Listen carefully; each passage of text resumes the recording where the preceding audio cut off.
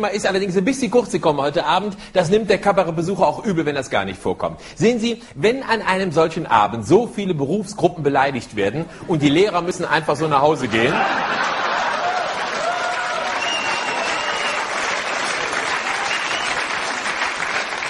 Ein Kabarettabend ohne Lehrer ist wie alkoholfreies Bier. Die Schulen ein Albtraum, alles nur Abituristen, die da runterkommen.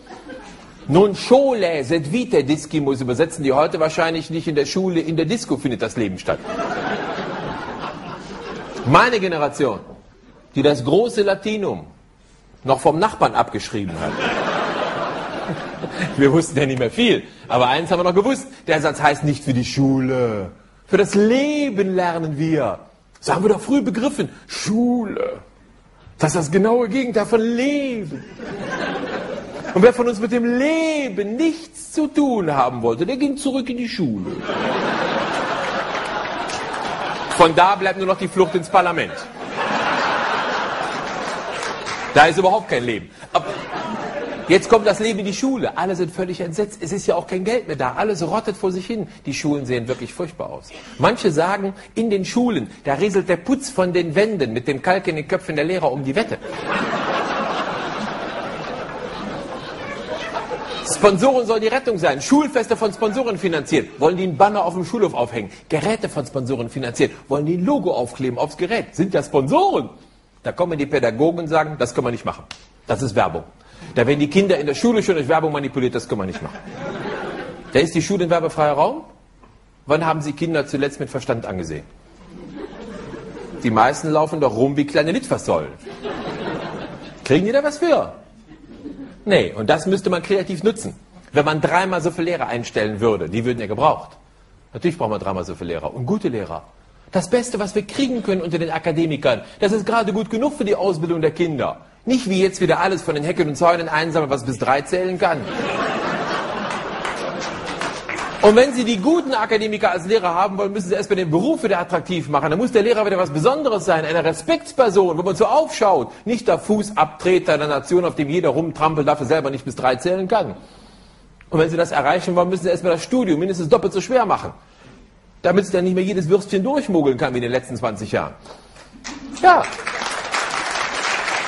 Und, und das Studium muss endlich umorganisiert werden. Nicht wie jetzt, 6, 8, 10, 12, 14 Semester Hochschulstudium. So ein Kopf voll Fachwissen, da kommen die in die Schule, da sitzen ja Kinder, was mach ich denn jetzt?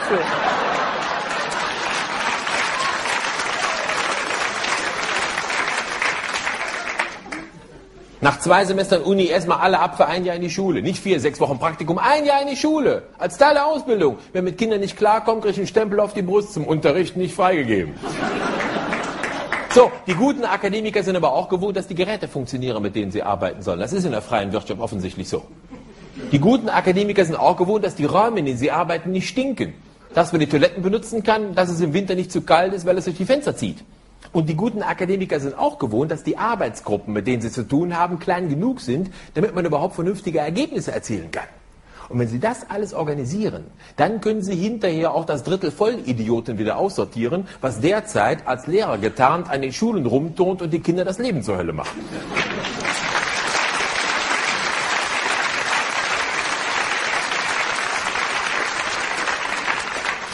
Ja, natürlich gibt es ein Drittel absolute Vollidioten unter unseren jetzigen Lehrern. Da diskutiere ich auch nicht drüber.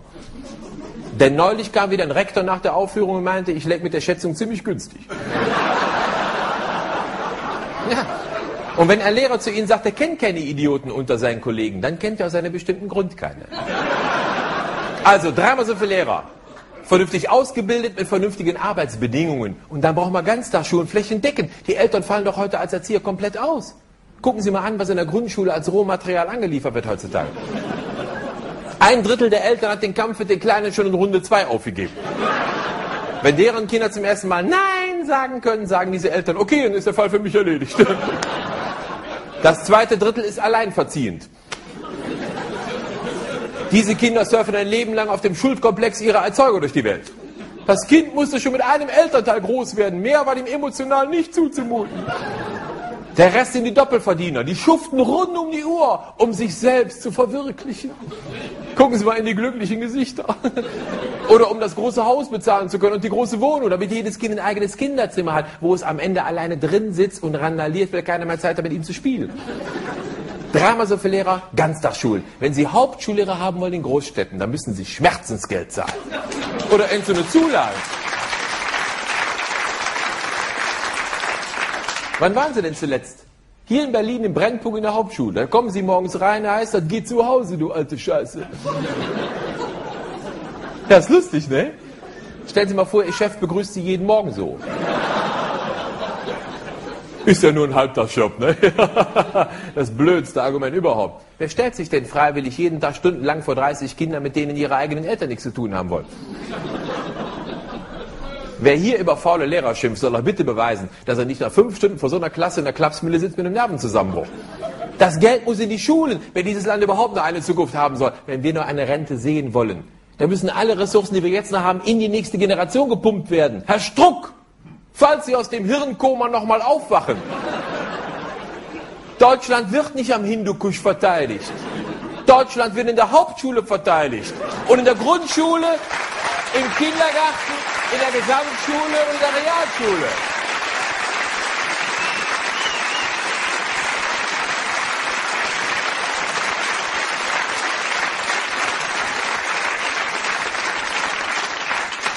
Und da tun sie mit ihren Eurofightern überhaupt nichts, genauso wenig wie bei der Terrorbekämpfung. In die Schulen müssen Sozialpädagogen, da müssen Psychologen in die Schulen, Sozialpädagogen für die Kinder, Psychologen für die Lehrer. Und wenn man das alles bezahlt, da können die von mir jetzt hinterher die Unterrichtsstunden durch Werbepausen finanzieren. Das wäre dann eben so. Das halten sie sowieso nicht auf. Eine Schulstunde dauert dann 60 Minuten und davon sind 15 Minuten Werbung. Fertig aus. Die Kinder würden sogar besser aufpassen. Das ist heute deren Lebensrhythmus. Wenn Sie mit Privatfernsehen groß geworden sind, können Sie sich keine Dreiviertelstunde mehr am Stück auf etwas konzentrieren. Da muss zwischendurch mal ein Pulle-Alarm kommen. Wie, ihr habt die Filme früher am Stück geguckt? Und wann habt ihr Chips geholt?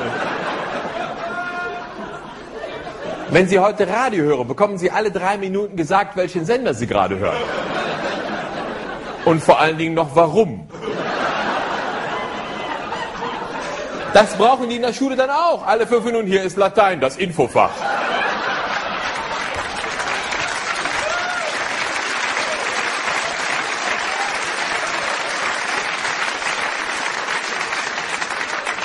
Alle zwei Minuten, ich bin Heinz, der Lehrer für die ganze Klasse. Noch Fragen, rufen Sie die Hotline. Da holen die die Handys raus, da rufen die mal an. Sie müssen die Stunden auflockern. Sie können mit kleinen Jingles während der Stunde auf die tollen Abenteuer der nächsten Stunde hinweisen. Teile der Tafel können Sie als rotierende Werbefläche vermieten. Sie können die Lehrer von Sponsoren einkleiden lassen. Man könnte Lehrern überhaupt mal was zum Anziehen kaufen.